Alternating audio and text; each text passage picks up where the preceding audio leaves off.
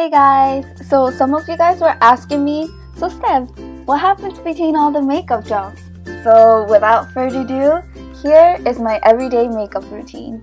So before I get started with anything, I clip my hair to the opposite side of the way it sways because then it'll create a natural wave.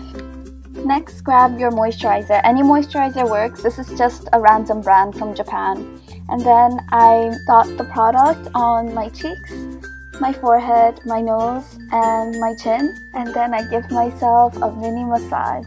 This will help your blood flow throughout your face in the morning, getting rid of dark circles and drowsiness, so take as much time as you need on this. And then just tap away the excess. Ah, and how can we forget our morning black coffee? This is a must for me. Every morning I drink a huge cup of joe. And then we can move on to foundation. Mine is from Etude House and I love this foundation. There's little dots on the product which helps give a really bright finish. So yeah, I'm kind of running out on the product but I try my best to just dab it, get some on the cotton and then I just evenly apply it all over my face. Now what I like to do is I like to do one half of my face first because I used to make my skin way too light so I like to do one half, compare and make sure it's not too different from my natural skin color and then I move on to the other half of my face. And don't forget your neck you guys, you don't want your face to be a lot lighter than your neck. Next, move on to concealer.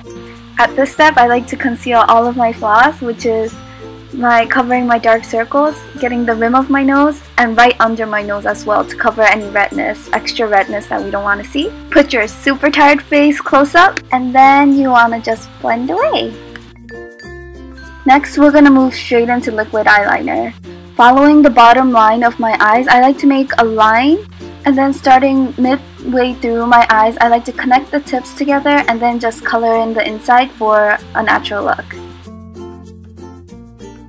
Next, I grab my black pencil liner. A gel liner is best for this steps, but this is just what I had, so I decided to use this, and I just fill in my tight line to make my lashes look fuller. And then I move on to eyeshadow. Now, as you can see, I only use the bright color and I use it to open up my eyes. Using a light color in your inner corners will not only make your eyes look a lot bigger, but it also will give it an innocent look. Next, my brows. I like to run my fingers through them first to give it a nice platform and then I just outline my eyebrows. And then I just color the whole thing in. I usually use a spoolie after this step, I highly recommend you do, but I kind of lost mine so after this, I move straight onto my eyebrow mascara. I like to coat it opposite to my hair growth and then to the direction in order to cover every single hair. Next, I grab my eyelash curler and I just curl away. Last but not least, I grab this lip tint. I love it, it's so awesome and then just apply it all over my lips and then what do you know? That is the end of my everyday makeup routine. Quite simple, right? I'm no makeup guru or anything, but I hope you guys either found this video helpful or at least entertaining. And yeah, I'll see you guys in my next vlog. Thanks for watching. Bye!